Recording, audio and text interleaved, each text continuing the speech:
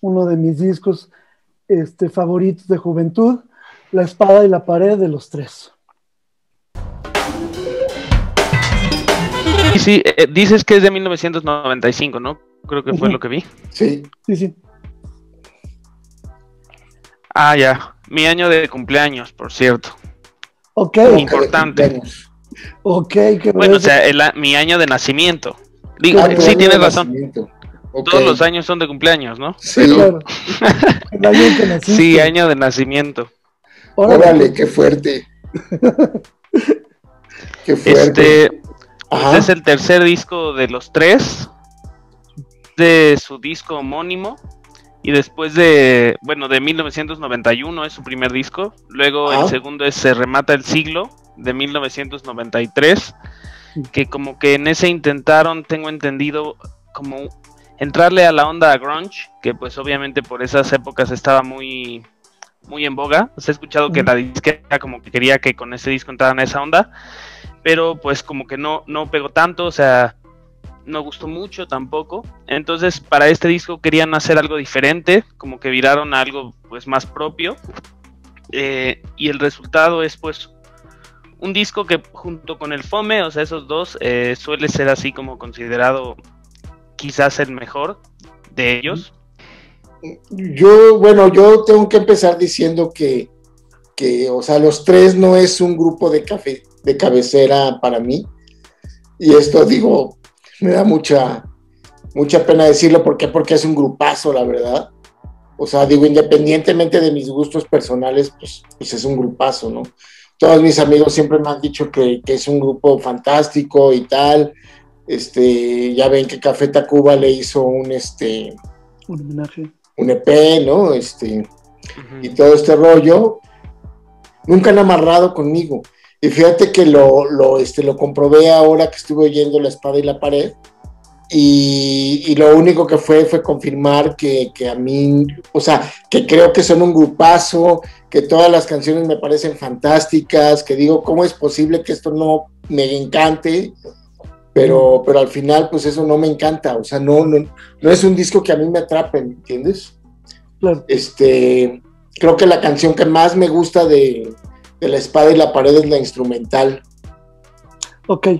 Que, y bueno, obviamente, pues, pues, o sea, Déjate caer es, un, es, un, es una canción brutal, ¿no? O sea, Claro. este, decía Mario Brewer que, que fue el productor de, de La Espada y la Pared, que es una de las cinco mejores canciones en la historia de la música en español.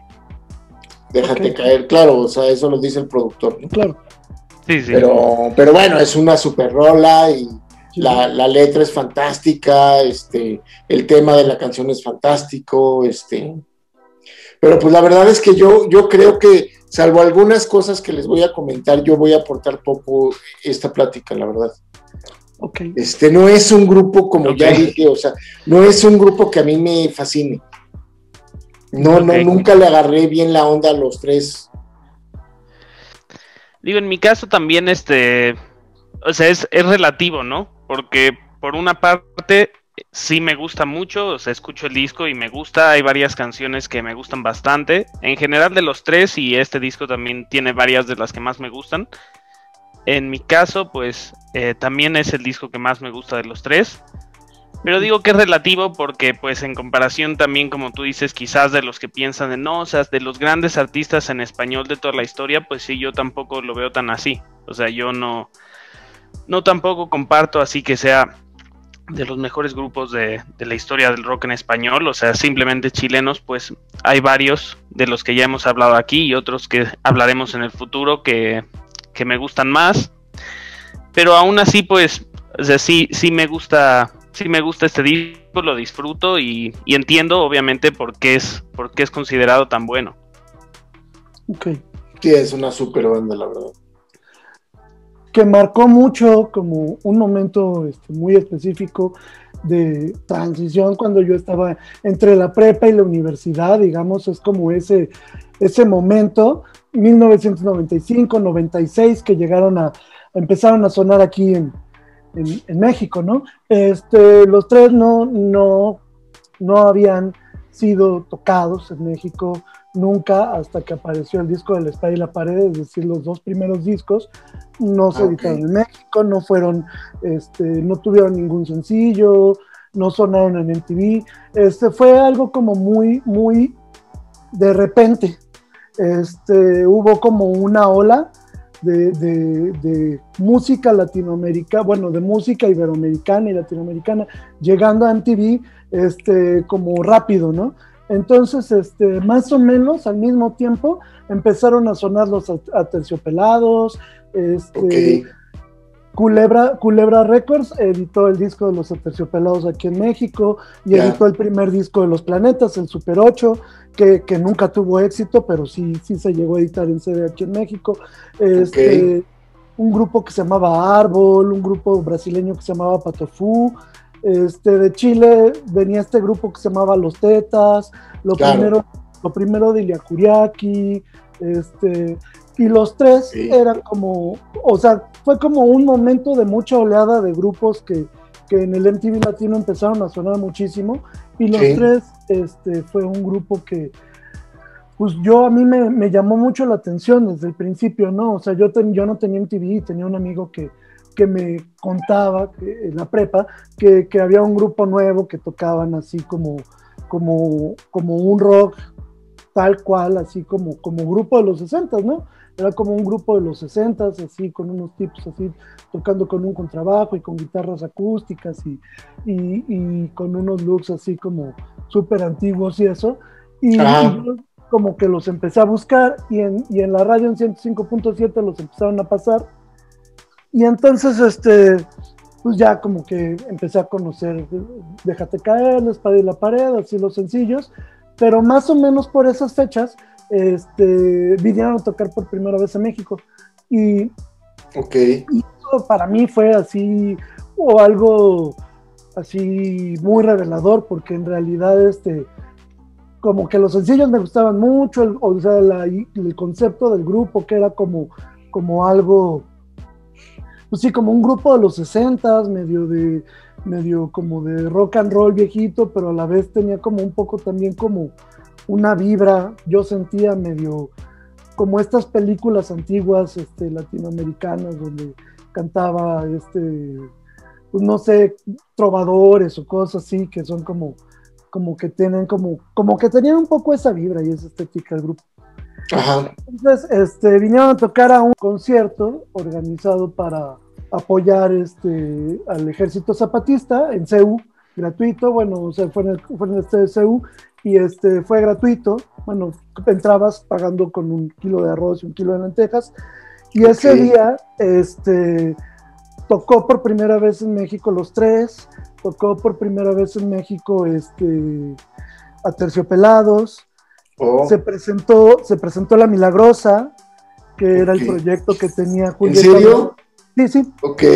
Que tenía Julieta Venegas con, Renato del Real. Sí, claro. Este, y tocaba pues la cuca, tocaba cuca, tocaba la lupita, pero la gente iba como con plan así como de este, pues bailar slam y querían ver a la cuca y querían ver a Santa Sabina, o sea, como los grupos fuertes, ¿no? lo que se conocía en México, pues. Exacto, lo que más se conocía en México, que aparte ya eran, o sea, para ese momento ya tenían estatus de grupo mediano, grande, y este, y pues sí, abarrotaban mucho la castañeda, pues la gente iba a verlos y bailaban slam muchísimo, y o sea, eran como muy eufóricos sus conciertos. Entonces salieron a tocar los tres, y, y a mí me impresionó muchísimo, porque aparte de que o sea, yo no me los imaginaba, eran como unos señores así, este, que no eran muy grandes, o sea, no eran tipos muy grandes, pero parecían como unos señores así viejísimos, con unos sacos raros, dentes de pasta, así, este, con un contrabajo y, peinados raros y todo. Y este, y la gente les empezó a buchar, pero así brutal. O sea, les crees? A aventar objetos y ellos, o sea, como que mientras más les gritaban, pues más tocaban más duro y les aventaban, les empezaron a aventar monedas y piedras y eso, y tocaban más, más, o sea, como más, como más rabioso. Y a mí me impactaron mucho porque, o sea, en el escenario eran como muy, muy fuertes, pero aparte como esa actitud de así, pues si no me quieren oír, pues me van a oír más, ¿no? Este, Y los cuatro tocaban este, de una manera espectacular. O sea, los cuatro tocaban impresionante. Entonces, este, pues ya como que en ese momento me enamoré de ellos, eh, de su música y, y, se volvió como una tradición un poco. Tocaron como cuatro veces por, por cuatro años consecutivos en el Museo del Chopo. Este, una vez al año tocaban y yo iba siempre, porque aparte eran baratos sus conciertos y pues los veías aquí, ¿no? Y siempre en la, en la fila me encontraba a Rubén, a José Lo de Café Tacuba, o sea, siempre nos veíamos en la fila. Así de, ah, mira, nunca nos vemos, pero aquí nos vemos, ¿no? O sea, como que buena onda. ellos siempre iban, o sea, siempre que tocaban los tres, por ejemplo, una vez tocaron el péndulo, también de los primeros que siempre estaban ahí.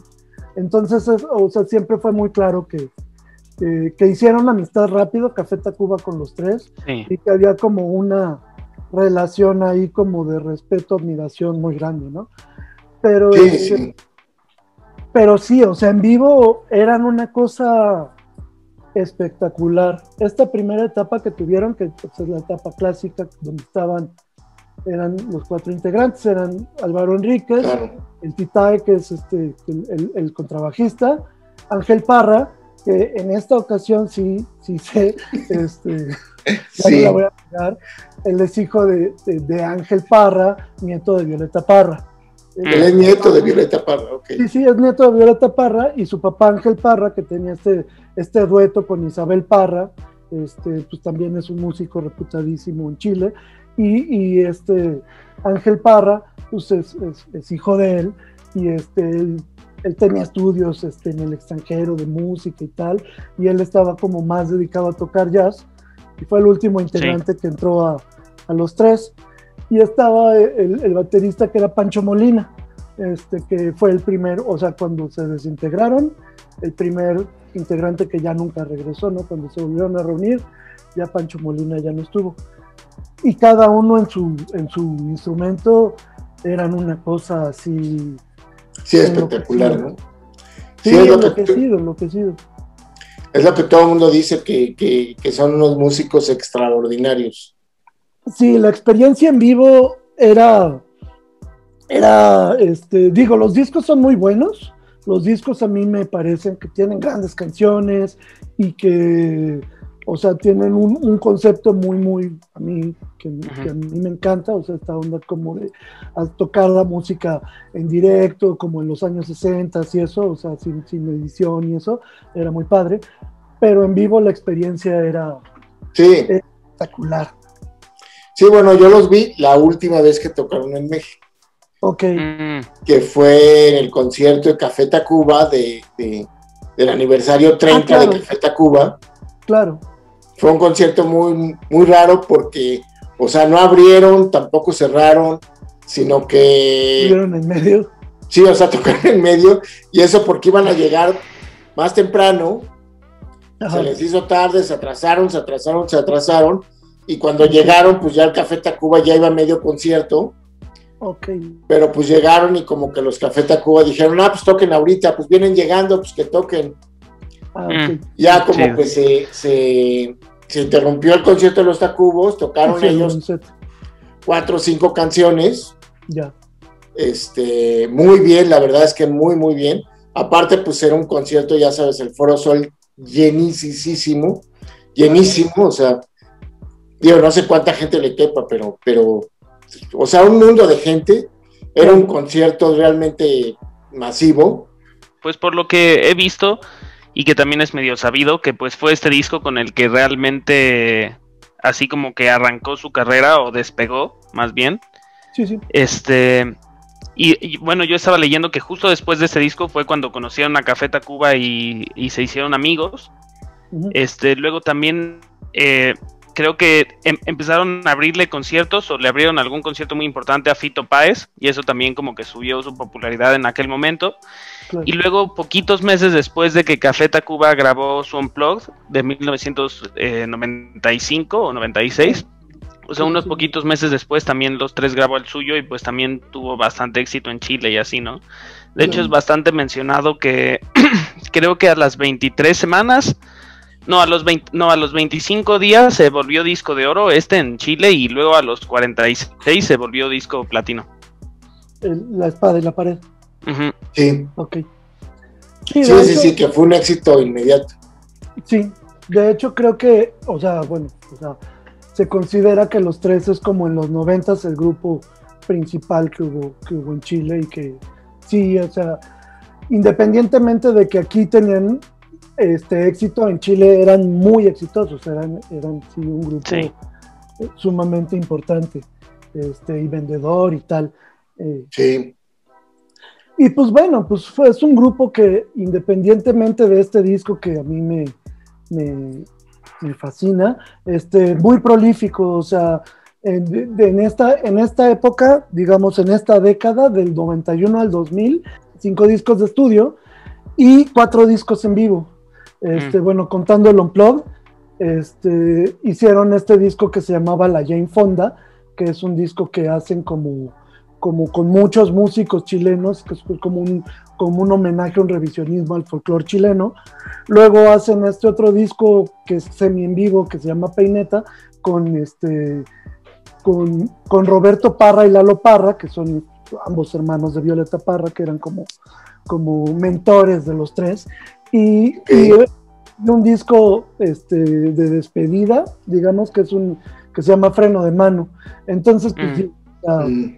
sí, o sea, cada año tenían como algo que, que habían lanzado, era, fue como muy rápido todo. La relación que hay entre los tres y Café Tacuba, ¿no? Que, que es una relación un tanto que tiene sus pasajes, ¿eh? Sí, sí. Este, primero, pues, pues que Café Tacuba era fan de los tres y como tú dices, pues te, los, te los encontrabas en la cola para, claro. para entrar al concierto, ¿no? Los primeros conciertos que dieron en México, ¿no? Claro.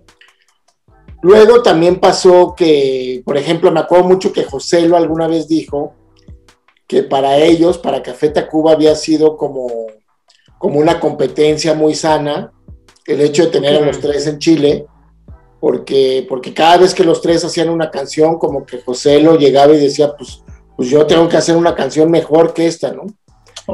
Entonces había cierto pique entre Álvaro, José Lo, Café Tacuba, tal, ¿no? Luego, pues obviamente está el tema de que, de Café Tacuba hizo, hizo este EP homenaje, el Vale Cayampa, que según entiendo, este Vale Cayampa en Chile significa como vale gorro o algo así, ¿no? Sí, como vale mm. madre. Como vale madres o algo así como dijéramos en México, ¿no? Pero bueno, o sea, de ese disco de, de, Vale Cayampa son cuatro canciones y dos son de La Espada y la Pared. Entonces, este, Exacto. pues se ve que, que, que tienen muy, muy, muy presente este disco, ¿no? Sí, sí. Luego, pues sucedió que, ya saben que Joselo andaba con Julieta Venegas, vivió con Julieta Venegas, fue su pareja sentimental durante muchos años. Yo en esas épocas era muy amigo tanto de Julieta como de Joselo. Los iba a visitar a su casa, vivían ahí cerca de, tu casa, ¿no, Guy? Eran como vecinos, ¿no? Pero cerca, ¿no? Y bueno, yo iba seguido a verlos y tal, y este, los dos me caían increíble y de repente, este, y bueno, Julieta pues se hizo después novia de Álvaro. Claro. Según tengo entendido, se casó con Álvaro y se separó a los tres días o algo así. Sí. O sea, sí hubo ahí como. Sí, qué denso. Como una relación rara, ¿no? Bueno, fue, fue ahí como, como raro, digo, tampoco es chisme, pero pues ahí está. Claro.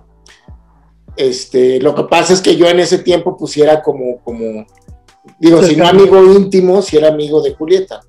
Claro. no, y digo, creo que fue como, como, como de TV Notas, o sea, como que sí, salió así que, no sé se tanto. Julieta en Chile y que se divorció pronto, o sea, eso sí, sí es algo que se sabe. Digo, yo me salgo unas historias ahí que, la verdad es que no voy a contar porque claro. ni me corresponde y aparte, pues esto no es Pati Chapoy, ¿no? Claro. O sea, tampoco se trata de, hacer chismes, me sé algunas historias muy intensas de, de Álvaro. Sí, este, bueno, siguiendo con, la relación los tres, Café Tacuba también ayuden muy poco. Luego, este, cosa rara, o sea, Joselo, a pesar de que Álvaro se había ido con Julieta, acabó haciendo un disco con él, ¿no? O sea, Álvaro le produjo un disco a Joselo, ¿no? Sí. Sí. De ese disco de Joselo yo diseñé la portada. Ok. Y estuve, bueno, o sea, conozco la historia del disco, que Joselo se fue a grabarlo allá. Ajá. Eran momentos muy intensos, tanto de Joselo como de Álvaro, según entiendo. Ok. Este, y pues digo, se sabe que tanto Álvaro como Joselo pues tienen su carácter y lo que dicen, dicen, es que Álvaro puede llegar a ser un poquito, un poquito mala onda. Sí lo creo. Dominante. Ahorita digo, voy a contar dos o tres anécdotas, porque Ok. fíjate que, bueno, ahorita más. Sí. Este, pero bueno, pues hicieron ese disco que a mí me parece, hasta José lo mismo lo dije porque se lo pregunté hace poco, y. José lo, lo que me dijo es que Álvaro pues es extraordinario músico, obviamente, que aportaba muchísimo a su disco, o sea, que, que hizo aportaciones muy concretas en las canciones, este, pero pues que era necio, o sea, que Álvaro, que es un talibán, ¿no? O sea, que, que no se puede negociar con él, o sea, es lo que él dice y si quieres. Entonces, es- pues que hubieron ciertas, ciertas como fricciones también, José Lo, pues obviamente Pobrecillos. José lo era una estrella, ¿no? O sea, digo, Claro. bueno, es una estrella de Café Tacuba, ¿no? Entonces Claro. tampoco Álvaro podía hacer tanto, pero, pero bueno, el caso es ese, ¿no? El, el disco, pues ahí quedó. Ok. Había este bar, no me acuerdo cómo se llamaba, ¿te acuerdas cómo se llamaba ese bar? Este, Liguria. ese bar que, pues, que dicen que ahí vivían, ¿no? Sí. Eran tiempos, eh, eran tiempos complicados, ¿no? Eran- Sí. Suena bien. ¿Eh? Sí, Suena Sí, bien. bueno, se la pasaban cañón, ¿no? Pues sí, fichitas. claro. Era justo la época en la que en la que Álvaro estaba tocando con Petinelis. Ah, ok, ya. ya. Que- que el disco de Petinelli, por cierto, a mí me fascina. Algún día tenemos que hacer una revisión. Sí, es que ese disco de disco. creo, bueno, no, no lo sé, pero, pero, pero la impresión que yo tengo es que no tuvo la repercusión que, que debió haber tenido, ¿me entiendes? Sí, Porque a mí sí se me hacía como muy importante y se me hacía que, que habían hecho como un rollo hasta medio cumbia, más padre, o sea, digo, sí, sí, a mí el disco de los Petinelli me encanta. sí, es increíble. Me encanta. Y bueno, pues siguiendo con, con la historia de Café Tacuba ya para cerrar este punto. Ajá. Luego Meme Ujú. Produjo el disco este de Hágalo usted mismo. ¿no? Hágalo usted Hágalo, mismo, sí. sí. Entonces, pues también Meme pues me platica lo mismo. O sea, lo mismo, que, que Álvaro puede ser complicado, Claro. que, que son extraordinarios músicos, extraordinarios amigos, necios como la, como la pared enfrente, necios. Este, y fíjate que, que- que en ese sentido Meme tiene, tiene mucha, pues es un, digo, tiene mucho, mucho colmillo, porque Mucho luego trabajó con los bunkers, Sí, sí. Claro. los más necios. claro. ¿De plano? Sí, que son tremendos. O sea, digo, todos, todos los, Sí, claro. los artistas, y yo te lo digo porque digo, yo, yo he trabajado desde otra trinchera, pero yo, yo que he hecho portadas de discos para Ujú. muchos artistas, pues obviamente este, los artistas son, son gente con mucho carácter y que, y que creen tener la verdad y que y todos creen que son grandes artistas, ¿no? O sea, incluso los que tú crees que solo lo hacen por dinero, pues cuando Claro. platicas por, con ellos dicen, no, no, no, yo sí soy artista, micro. Sí, Yo yo tomo como esos grupitos que ves ahí como Café Tacuba y los tres. y- No, no, no, yo sí. o sea, que dices, chale, pues bueno, ¿no? Sí, órale. que son artistas pop. O sea, tú te imaginas que los artistas pop hacen eso por dinero y no. O sea, se creen realmente artistas, ¿no? claro, que toman sus decisiones. Sí, totalmente. están- Sí, no, no, no. entonces, bueno, entiendo porque, porque, porque lidiar con artistas y eso, pues, pues es complicado. Es gente que tiene mucho poder, que maneja las disqueras, que, que tienen una mano una disquera. Entonces, pues bueno, pues, pues, pues este, eh, en ese sentido lo entiendo que haya sido como complicado, ¿no? Y que sean Claro. complicados los tres, digo, a mí no me. Digo, tampoco se me hace un gran defecto, ¿no? Al contrario, tal vez No, no. incluso ese carácter y esa necedad pues los llevó a hacer lo que lo que llegaron a hacer. Lo que, lo que Sí, probablemente. Y bueno, pues sí, digo, la relación con Café Tacuba es como muy, muy amplia. Seguramente habrá otros pasajes. Y pues como les digo, pues acabó en el último concierto que yo fui de Café Tacuba, que de hecho fue uno de los últimos conciertos que se hizo antes de la pandemia. Bueno, o sea, un poquito antes de la Mm. pandemia. El concierto fue en diciembre Ok, y realmente se dejaron de hacer este conciertos en marzo. en marzo, sí, el Vive. Latino fue lo En último. el Vive Latino, que, que ya fue un abuso, ¿eh? O sea, el Vive Latino Sí. fue un abuso. Sí, sí, totalmente. Pero bueno, fue un éxito y se llenó y todo, pero, pero realmente el Vive Latino en este- Sí. Debió. se debió haber cancelado ese año. Bueno, Sí, o sea, en Sí, marzo totalmente. ya, estaba la pandemia, ¿no? Pero bueno, Sí, sí hubo bastante debate en su momento de si se debía cancelar o no. Y digo, lo bueno es que, o sea, con todo y que fue un abuso, sí eran los días en los que ah, van 12 contagiados en México. O sea, tampoco, Sí. o sea, si se hubiera hecho un mes después, sí, este, hubiera Ah, sido grotesco. No hubiera podido ser. si era cuando todavía Gatel decía, pues a lo mejor llegamos a mil, a mil infectados, ¿no? Claro. Esto puede durar Sí. dos meses o tres Sí, meses. exacto. Puede durar meses, sí, sí. A mí creo, a mí definitivamente es el disco que más me gusta, aún a pesar de que sí encuentro que Fome es un disco más compacto y más, este, digamos, conceptualmente más, más redondo, más logrado y mucho más compacto. Este, y creo que Álvaro Enríquez dice, siempre ha dicho que Fome su disco así como el que, en el que Ah, lograron ok. todo lo que querían.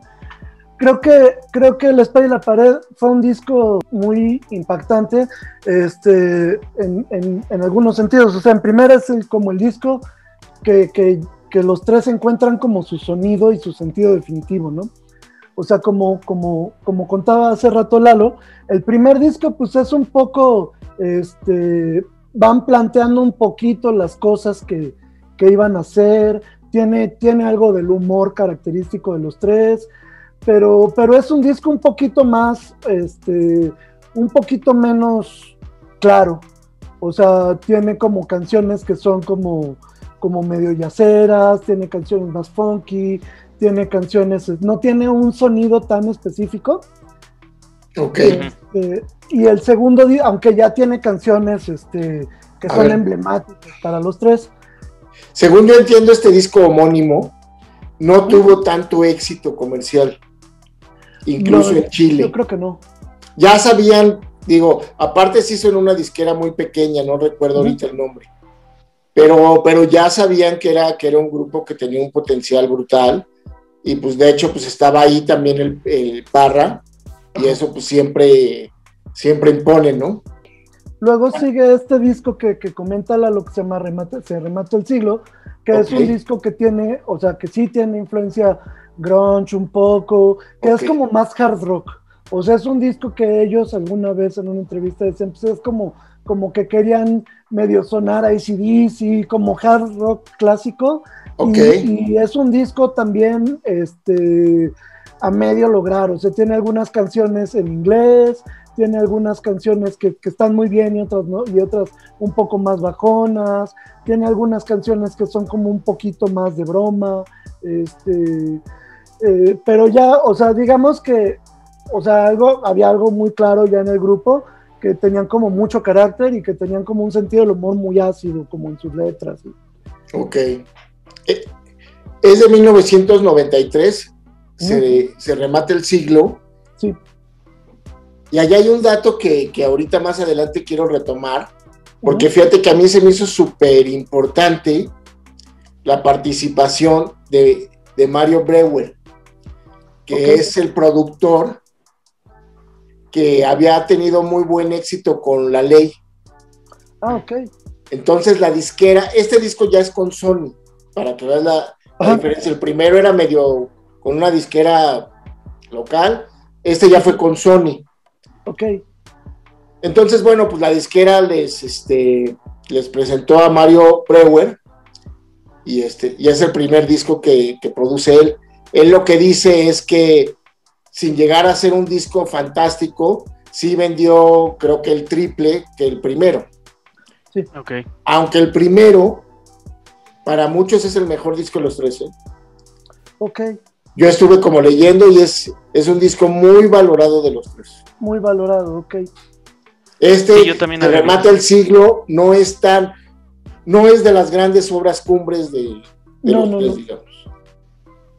Ahora, siguiendo con los discos, 1995, pues sigue La Espada y la Pared, Sí, sí, que es este que nos ocupa. es este que nos ocupa.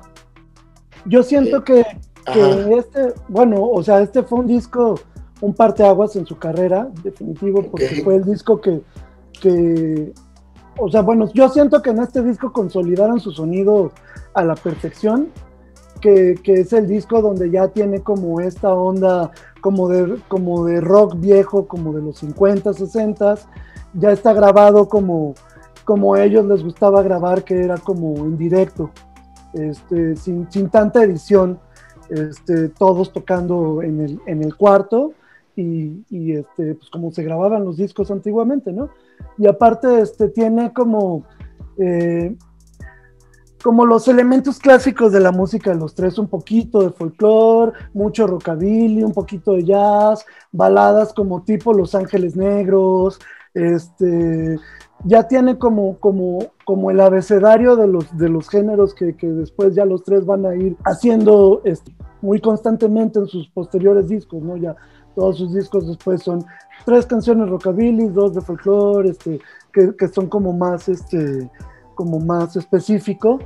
A mí, a, mí, a mí me encanta el disco, o sea, todo, o sea, la consecución de canciones me parece extraordinaria, pero yo siento que un poquito al final como que es un poco raro, tiene esta parte, la última, la canción instrumental que dices es como, como es genial y cierra con, o bueno, sigue otra canción que se llama Me rompió el corazón, que es como muy épica y, y parece que ya cerró el disco, pero entonces viene esta parte como de una, como de un, como de un reprise de la espada y la pared, y luego vienen los dos covers, ¿no? Que, que, el primero es un cover de un clásico de Body Richard, que Body Richard pues es como como un legendario rock and rollero chileno que, que, tiene esta canción que se llama Tu cariño se me va y que canta con ellos ahí.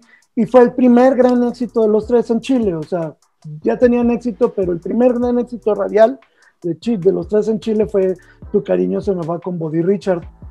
Y, este, y la canción de All Tomorrow's Parties, que tocaban ellos en una obra de teatro que los habían, a finales de los ochentas, los habían este, invitado a musicalizar, que estaba basado como en la vida de Warhol o algo así, y como que ellos se basaron un poco en la onda de, de Warhol y Velvet Underground.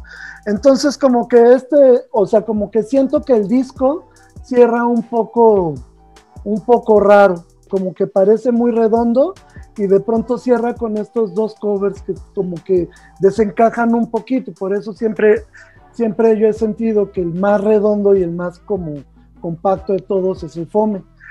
Okay. Pero, pero es este de, de, de, la espada y la pared, digamos, en el que en el que creo que consiguen su sonido y en el que se vuelven estrellas internacionales, ¿no? Que el MTV, o sea, tiene como esta explosión. Sobre lo que dices de, Ajá. de este, de Body Richard, a mí siempre me llamó mucho la atención, porque como bien dices, es un músico como de antaño de, sí. de este, de Chile, pero realmente él se llamaba Ricardo Roberto Toro. Ok. Este, pero era súper fan de Body Holly. Sí, claro. Entonces agarró su nombre, que era Ricardo, y se puso, o sea, este, Body, Body Richard. Richard. Sí. Digo, cuando a ti te dicen Body Richard, pues, pues no sé, piensas que es, que es un rockero norteamericano. Sí, claro, un clásico, así, ¿no? sí. Sí, como. Pero bueno, nada más como dato curioso. Claro. Las letras creo que es como un hilo conductor muy fuerte, o sea, todas las letras son como de muerte, de suicidio, bueno, de Moisefala, que, que la canción es sobre un travesti y sus de amor y como la... Todas las canciones son así, pues como de temas muy duros, ¿no? Igual todas de desamor, de... Este, no sé, la de pues, abre la ventana y tírate, también la de déjate caer es como de una persona que ve como su muerte desde fuera. O sea, en general, pues es un disco de, de, letras muy densas. Y creo que, si bien tienes razón, Guy, en que, comes un disco más marrado. O sea, yo este lo siento como más, y creo que por eso me gusta más, como los mejores discos, lo siento más como un viaje, la canción tema, y que sea como, sea así como el jingle del disco, como la espada y la pared. o sea, como que lo amarra muy bien. Dices, ya las últimas dos se sienten así como pues muy extras. Bueno, lo que siempre he pensado de los tres es que es un grupo extraordinario de rock clásico. este, que de hecho ellos han buscado concretamente sonar a rock clásico.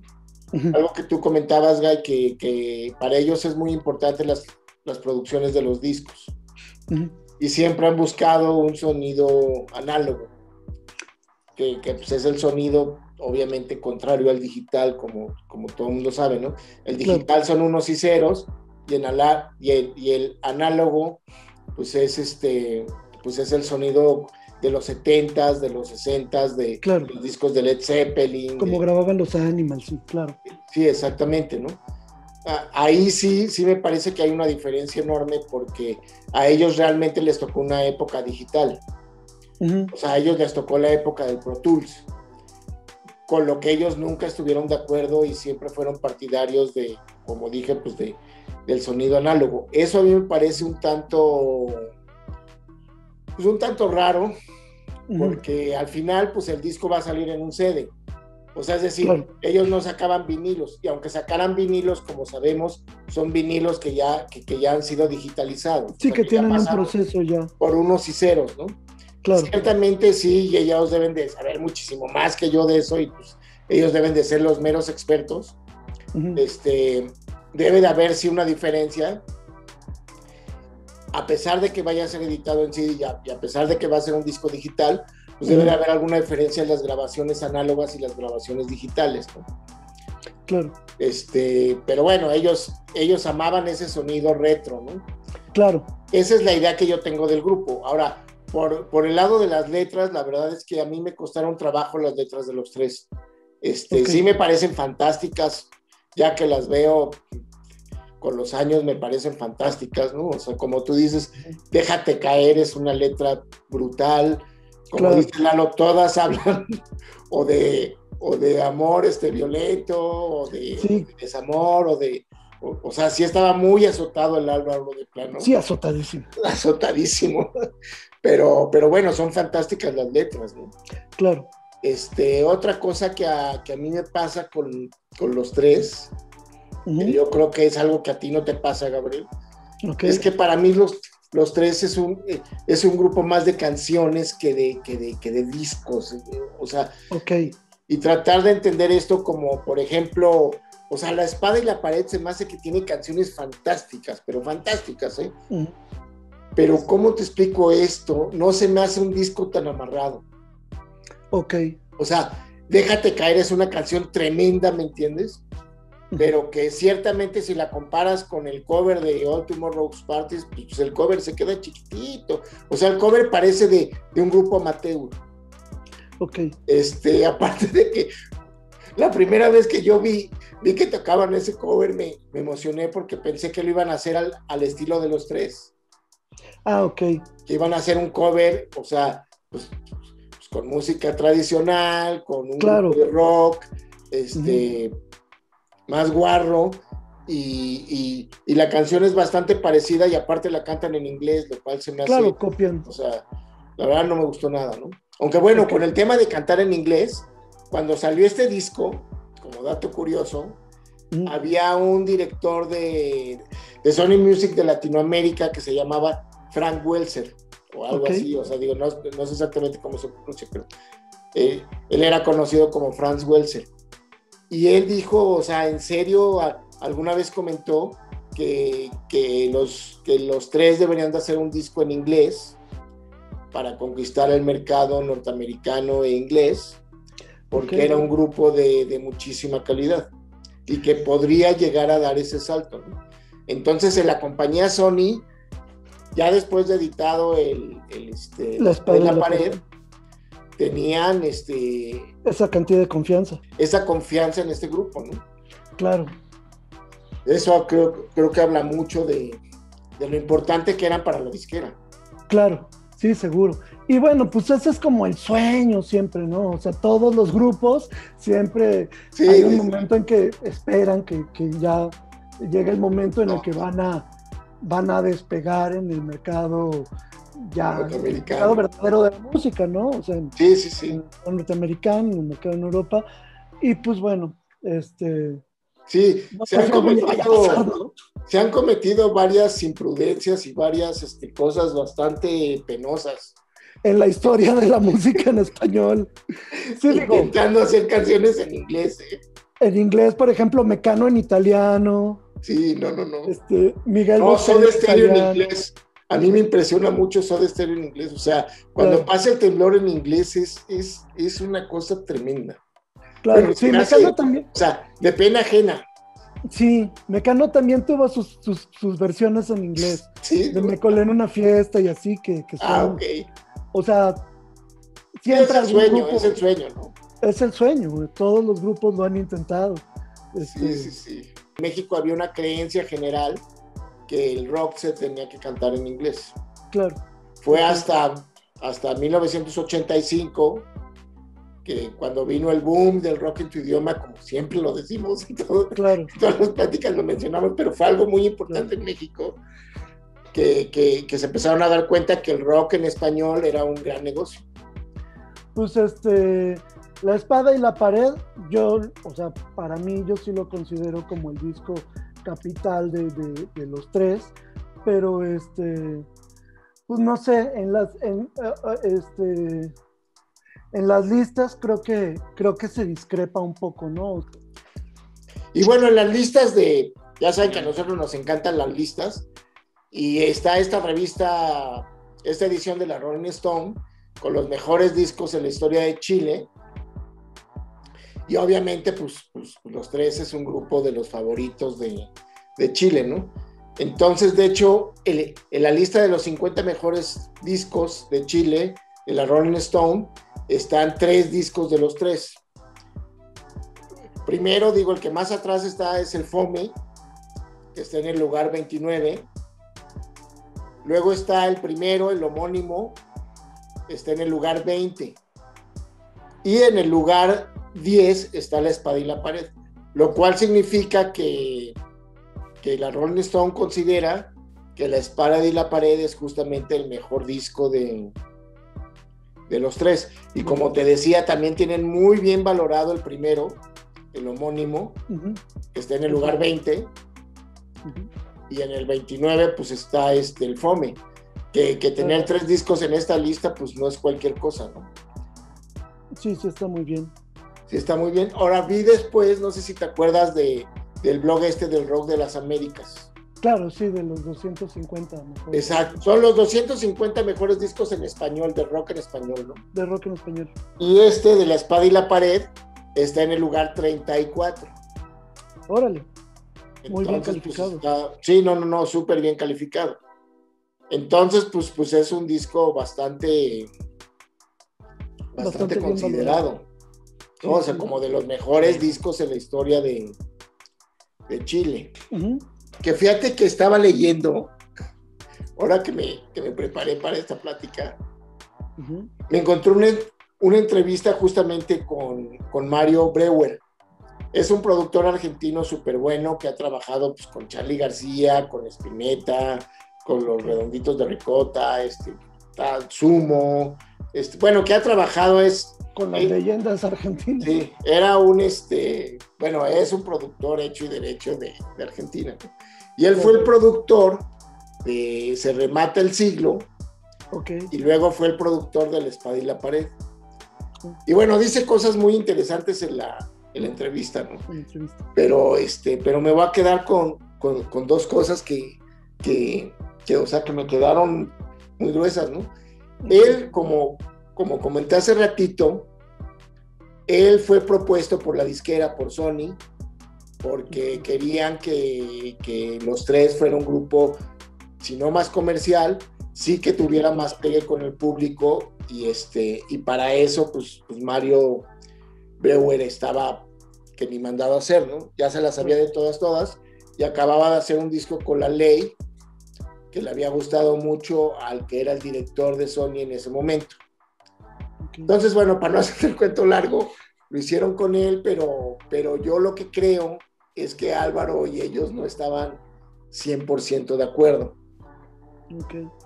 Según él dice y entiendo, él fue el que les metió la onda esta de, del sonido análogo. De, hacer las cosas análogamente y que, y por ejemplo, él dice que cuando, que ya sabes que este disco se ha comparado mucho con Fate No More y como tú decías con Nirvana y, con ACDC, y según él dice que eso no es cierto. O sea, que eso nunca se, se manejó ni nada. Nunca se que, y que él jamás agarró un disco de referencia para, para, para, hacer un disco los tres. Que al contrario, que él lo que, lo que intentó él desde, desde su trinchera era hacer un disco que sonara a los tres, no que sonara a otras cosas, ¿no? Pero bueno, tiene, tiene anécdotas como, que a mí me impactaron mucho, ¿no? Que, que, Álvaro era, era, era tremendo con él, y que llegaban los, los, los integrantes del, del, de los tres, y que los cuatro le decían una cosa diferente, ¿ves? O sea, que llegaba Álvaro y le decía, oye, haz tal cosa y que llegaba el Parra y le decía, oye, este, intentemos esto, pero era lo contrario a lo que quería. Entonces, pues que era un poquito labor de productor y de psicólogo de, del grupo, ¿no? Pero bueno, cuenta cosas fuertes como, por ejemplo, que una vez enfrente de él, o sea, que llegó un periodista, ¿no? Estaban él y Álvaro, y el periodista le preguntó a Álvaro que, que, qué experiencia le había dejado este, este disco. Y que Álvaro contestó, me dejó de experiencia cómo no se debe de producir un disco. ¡Wow! ¡Qué tipo tan... Sí, o sea, me lo imagino perfecto, o sea... Sí, claro. Digo, yo te voy a decir una... Yo conozco muy poco, muy poquito a Álvaro así en persona, o sea, pero, pero alguna vez sí lo llegué a ver, este... Una vez coincidimos en una reunión en casa de Kiki Rangel Ok. Y pues yo sabía quién era él, pero, pero como siempre he dicho, pues no es mi ídolo ni nada, entonces pues andaba. Claro, ahí está. Pero el caso es que por, por X circunstancias de repente me di cuenta y se sentó junto a mí en un sillón. Ok. Y empezamos a platicar y platicamos, no sé, o sea, digo, no quiero exagerar, pero tal vez dos horas. Pues. Ok, un rato, un buen rato. O sea, un ratote ahí platicando, ¿no? De, de rock y no sé qué. Y pues yo sí dije, o sea, qué buena onda es Álvaro, o sea, que la impresión que me dio es que buena onda es Álvaro, pero también me dio la impresión de que, de que medio te va dando el avión, ¿ves? Ok. Y sí se me hace que es un tipo que puede llegar a tener esos desplantes. Mario Breuer, es que Mario estaban, porque el disco se, se terminó de hacer en Estados Unidos. Ok. Entonces que, que, que, él fue como, creo que a Nashville o no sé a dónde, que, a una tienda de discos y a una tienda de instrumentos. Y él llevaba en la cabeza comprarse una guitarra, ¿no? Que llevaba años buscándola. Entonces por fin le encontró que era una guitarra de 12 cuerdas, preciosa, ya sabes. Y que llegó y dijo, no, pues es para mí, costaba 750 dólares, ¿no? Que era una ganga, ¿no? Claro. Y que ya que la había comprado, llega, llega Álvaro y le dice, no, no, no, esta guitarra es mía. Wow. ¿Qué tipo? Algo por el estilo, ¿ves? Sí, sí, sí. Pero bueno, o sea, esta entrevista que vi con él este, me gustó mucho y habla pues, sobre, sobre ese tipo de detallitos de, del grupo, ¿no? Claro. Sí, tienen fama de ser gente muy difícil. O sea, tienen fama de ser gente muy difícil. De hecho, este Álvaro Enríquez tiene fama este medio déspota. O sea, es algo sabido entre, entre, pues ha platicado con gente chilena y eso, y es como muy conocido de él que, que es como un tipo que tiene como un carácter medio mala onda y que, y que sí es un poco, sí es un poco duro, o sea, tiene como, o sea, sus letras, las letras de las canciones, pues, o sea, como bien dice Lalo, pues hablan de cosas así bien tremendas, bien azotadas, de suicidio, de maltrato, o sea, relaciones súper, súper de maltrato y eso. Y, y, dicen que, y dicen que, bueno, o sea, tiene fama de que es como muy mala onda con sus parejas, ¿no? Como muy misógino.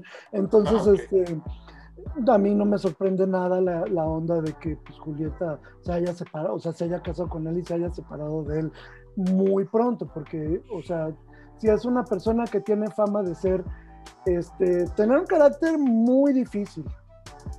Una cosa que fue importantísima en esa época de, del rock latinoamericano fue obviamente MTV.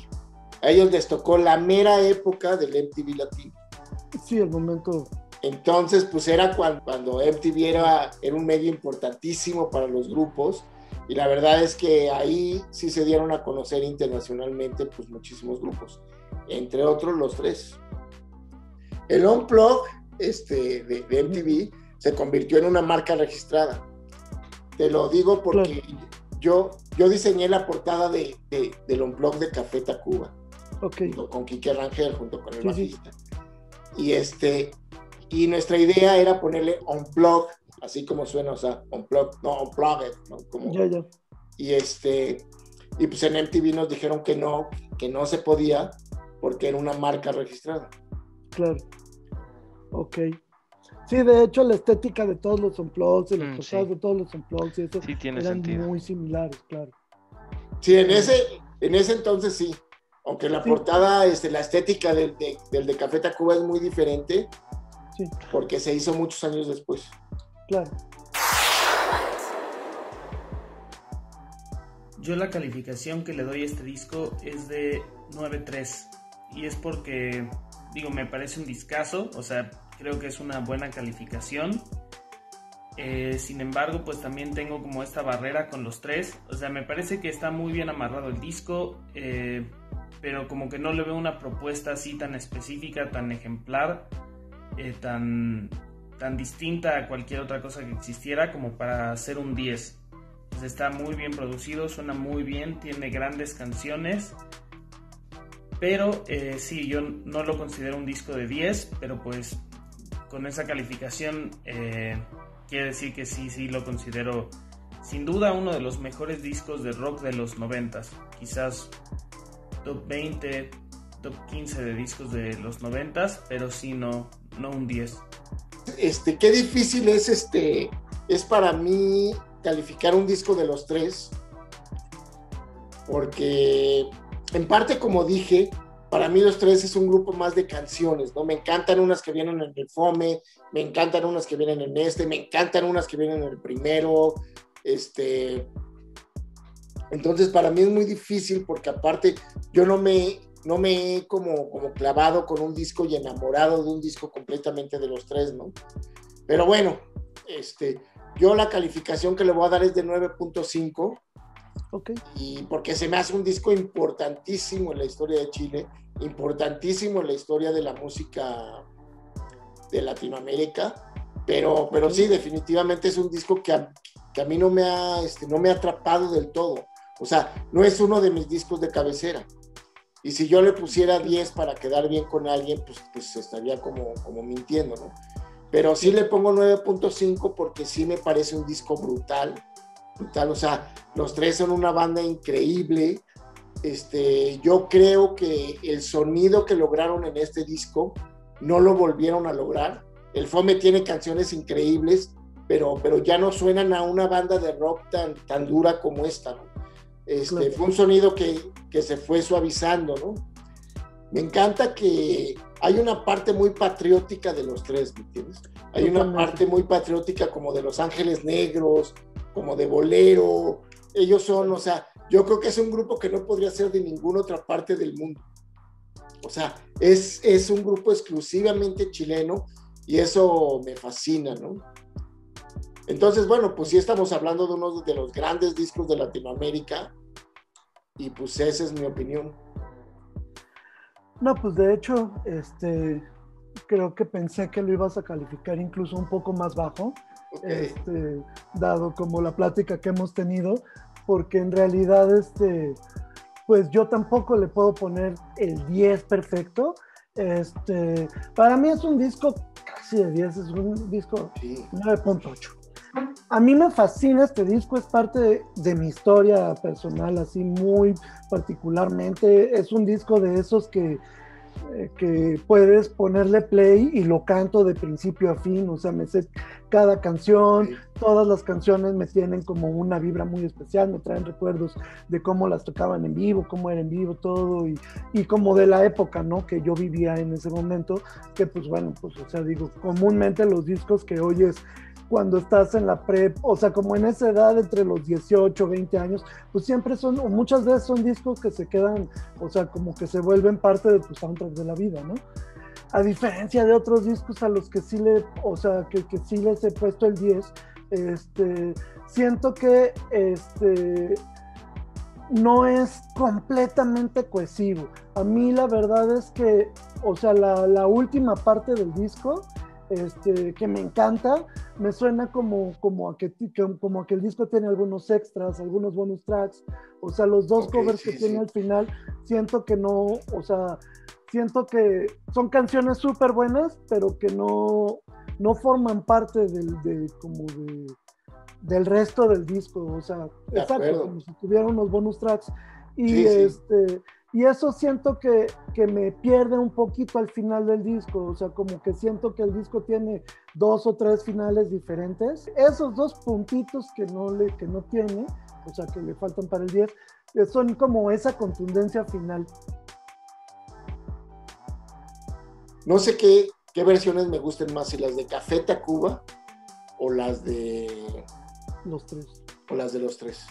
Por ejemplo, a mí la canción que más me gusta de los tres es olor a gas. Ah, la, la, la, letra se me hace una letra tremenda. me encanta, me encanta esa canción.